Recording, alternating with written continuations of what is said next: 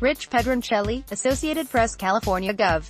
Jerry Brown delivers his annual State of the State address before a joint session of the legislature, Thursday, January 25, 2018, in Sacramento, California. AP photo, Rich Pedroncelli, A. State senators voted Wednesday to approve AB 3080, a mandatory arbitration ban that grew out of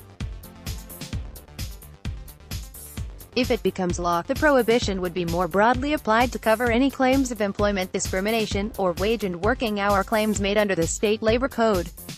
Mandatory arbitration agreements, highly popular in the corporate world as a means of avoiding costly lawsuits and tarnished corporate and executive reputations, have become a key issue in the Ad choice advertising inRead invented by Teads former Uber engineer Susan Fowler, whose 2017 blog post alleging sexual harassment at the San Francisco ride-hailing firm helped oust the company's then CEO Travis Kalanick, has come out in support of AB 3080, calling mandatory arbitration widespread and sinister. She had been under an arbitration agreement as a condition of her employment at Uber, but the company has said its employees have been able to opt out of arbitration clauses since 2016, Recode reported. If Governor Jerry Brown signs the bill into law, employers would be prohibited from requiring mandatory arbitration as a condition of employment, continuing employment or receiving employment-related benefits. Companies would also be banned from limiting the ability of employees, job applicants and contractors to share information about sexual harassment at work. Get tech news in your inbox weekday mornings. Sign up for the free Good Morning Silicon Valley newsletter. Brown has until September 30 to sign or veto the bill. In 2015, he vetoed a ban on mandatory arbitration agreements as a condition of employment, following fierce opposition from the state's Chamber of Commerce, which called such a ban job killer. TechCrunch reported. If Brown approves the bill, the new law could run into conflict with federal law, according to analysis by the Society for Human Resource Management. A decision in May by the U.S.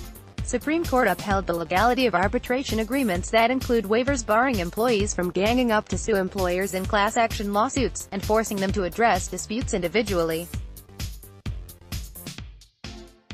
The proposed mandatory arbitration ban potentially has a lot of hurdles to climb, considering the current status of how these arbitration agreements are viewed in federal court, lawyer Christina Nordsten told the Society.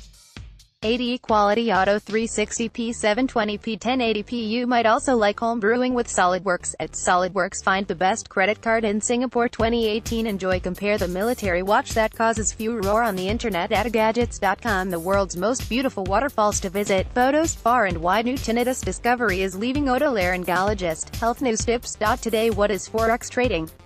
All about this financial. IG Singapore Ask Amy, my house isn't dirty, but she refuses.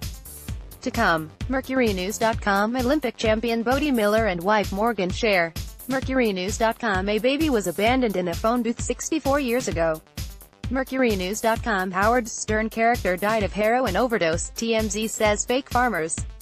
California Congressman's self-descriptions challenge doing this before bed could help your hair growth. Watch healthierpatriot.com make your resume stand out. Here's how work money the most wanted black dresses www.playmefashion.com Omarosa, Donald Trump Jr. began affair with Aubrey O'Day after his father urged him to get some Bay Bridge sideshow shutdown part of escalating trend. Authorities say not sure what wedding dress to choose. Click here www.playmefashion.com World's 20 busiest airports just released far and wide currency trading basics. What you need to know IG Singapore out of control motorcyclists surround family on Almaden Expressway, Roadshow H1B, US.